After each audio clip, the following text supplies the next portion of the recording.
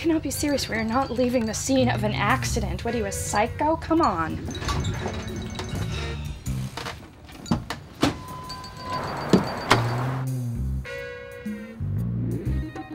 Have you been drinking? No, but God, you're making me want to. We are so sorry.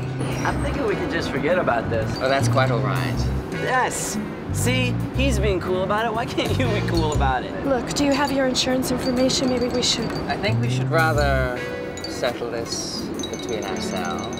Absolutely, man. Let's just cut our losses and move on. You could be in big, big trouble if you have been drinking. We could end up in jail, both of us. Do you understand that? And you know what? I could get you fired. I could. I have tenure, and I could get you fired. Okay, target in sight. I am moving in.